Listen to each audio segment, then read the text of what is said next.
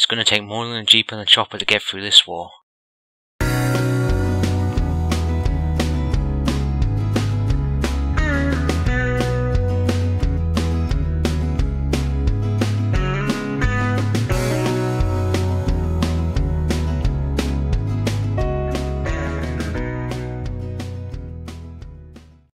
Swiv is a vertical scrolling shooter made by Sales Curve in 1991 for the Atari ST. It's been ported to a whole slew of other formats, however, the version I'm looking at is, of course, the ST version. It's essentially a simple arcade game where it pits you against a world where you have to take down every enemy plane, tank, or mounted machine gun in your way. The one major difference between this and other shooters is in the multiplayer. One player plays the helicopter, with the other playing as a jeep.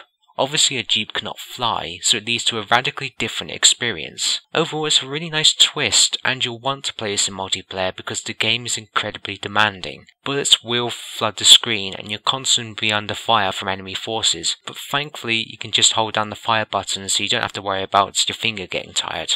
Whilst it is hard, it's not unfairly difficult you'll find yourself over multiple plays getting slowly further and further. At the moment, I can only seem to get around about the 25% mark. Yeah, the game does actually tell you how much you suck on the game over screen.